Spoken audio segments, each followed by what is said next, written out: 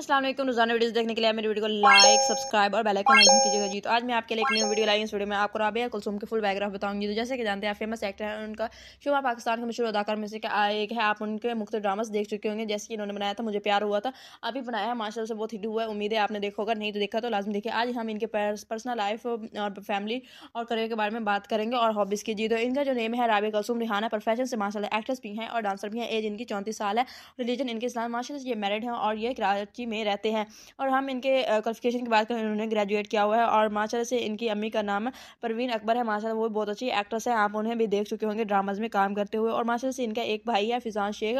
माशा से वो भी एक्टर है और इनके, ये माशा से मैरिड हैं और इनकी बीवी का नाम है माहम आमिर। माशा से वो भी बहुत अच्छी एक्ट्रेस हैं और फ़ैशन मॉडल हैं। आप उन्हें भी देख चुके होंगे ड्रामाज में। और माशा से ये मैरिड है। इनके हस्बैंड का नाम है रिहान आजमी माशा से एक्टर भी हैं और सिंगर भी हैं। और माशा से इनका एक बेटा है, बहुत प्यारा। इन्होंने, उनका नाम मोहिब रखा है। ड्रामाज की बात करें तो इन्होंने एक ड्रामा बनाया था, मुझे प्यार हुआ था, जन्नत बनाया था 2017 में हारा दिल 2018 में इश्क बेपना 2018 में भ्रास बनाया था 2020 में जीत। आज आपको मेरी वीडियो कैसी लगी?